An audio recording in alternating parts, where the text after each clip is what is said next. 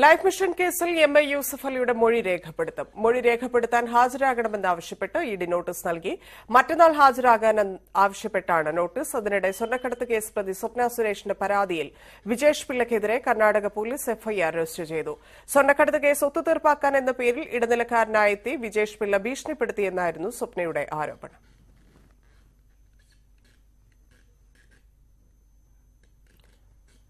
സ്വപ്ന സുരേഷിന്റെ ആരോപണങ്ങൾ തള്ളി എം എ യൂസഫ് അലി പാവപ്പെട്ടവർക്ക് വേണ്ടി നിലകൊള്ളുമ്പോൾ പല ആരോപണങ്ങളും ഉയരും. അതിനെതിരെ ധൈര്യപൂർവം മുന്നോട്ടു പോകും. ഇ ഡിയുടെ നോട്ടീസിനെ കുറിച്ച് അത് റിപ്പോർട്ട് ചെയ്തവരോട് ചോദിക്കണമെന്നും സമൂഹമാധ്യമങ്ങളിൽ പറയുന്നത് തന്നെയും ലുലുവിനെയും ബാധിക്കില്ലെന്നും എം എ യൂസഫ് അലി.